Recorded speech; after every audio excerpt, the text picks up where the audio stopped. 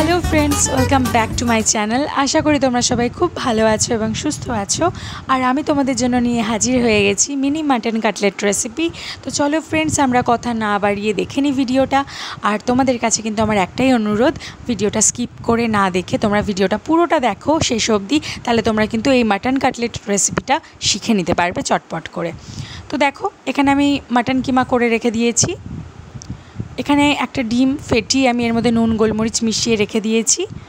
এখানে আদা, কাঁচা লঙ্কা, রসুন কুচি নিয়ে নিয়েছি আর একটা লেবুর কোয়া নিয়ে নিয়েছি। এখানে আমার লাগছে টমেটো কেচাপ। আর একটু ব্রেড ক্র্যাম্পস নিয়ে নিয়েছি। এটা কিন্তু একদম ঘরে তৈরি ব্রেড ক্র্যাম্পস আর ময়দা নিয়ে নিয়েছি এখানে একটু নুন, গোলমরিচ মিশিয়ে। আর এখানে দেখো একটা স্পাইস আমি মিক্স করে রেখেছি, যেরকম এখানে আছে তন্দুরি মশালা এখানে আছে গোলমরিচ গুঁড়ো আর অল্প পরিমাণে চাট মশলা এই তিন রকমের মশলা আমি একটা জায়গায় মিক্সড করে রেখে দিয়েছি। তো এখন এই খালি বাটিটাতে আমি মাটন কিমাটা অ্যাড করে দেবো।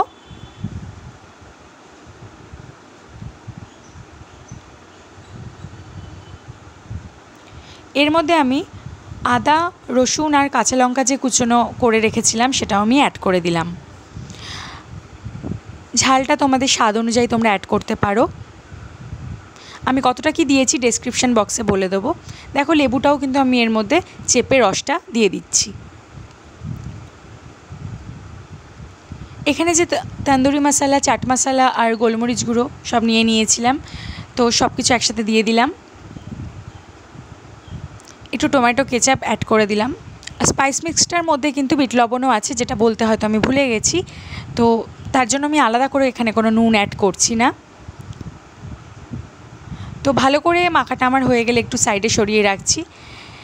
তো এরপরে দেখো, একটুখানি টাইম যাওয়ার পর আমি এখান থেকে একটু গোল গোল শেপ মতন করে ভালো করে এটার মধ্যে চেপে চেপে আমি ব্রেড ক্র্যাম্পসে অ্যাড করে দিচ্ছি। যেহেতু এর মধ্যে আমি কোনো সেদ্ধ আলু ব্যবহার করিনি, তার জন্য একটু ছেড়ে ছেড়ে আসতে পারে।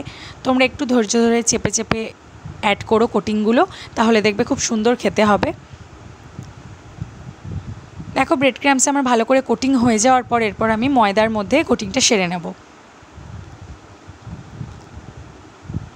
আমি বিট লবণটা তখন কম পরিমাণেই কিন্তু অ্যাড করেছিলাম, কারণ এই সব কিছু কোটিংয়ের মধ্যে কিন্তু নুনটা আলাদা করে দেওয়া আছে।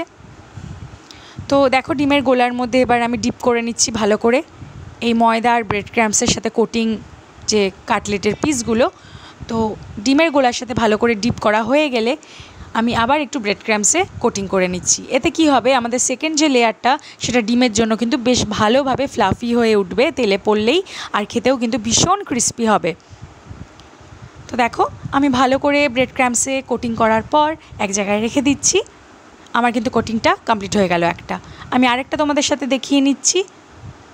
তোমরা আরেকবার দেখে নাও ভালো করে। এইভাবে চেপে চেপে আগে ব্রেড ক্র্যাম্পসের মধ্যে দিয়ে দেবো।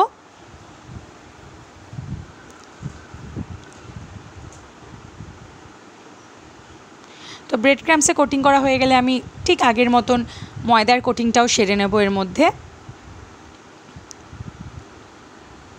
এরপর আমি ডিমের গোলাটার মধ্যে আবার ডিপ করে নিচ্ছি।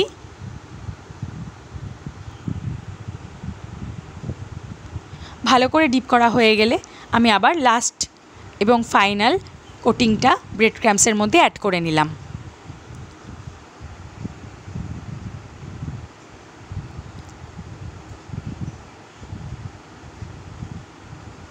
এইভাবে সব কটা কোটিং করে আমি এক জায়গায় সেট হতে রেখে দিচ্ছি। এর মধ্যে দেখো ছোট একটা আমি ফ্রাইং প্যান নিয়ে নিয়েছি, যেটার মধ্যে তেলটা গরম হতে দিয়েছি। আর এদিকে আমার তিনটেই সেট হয়ে গেছে অলরেডি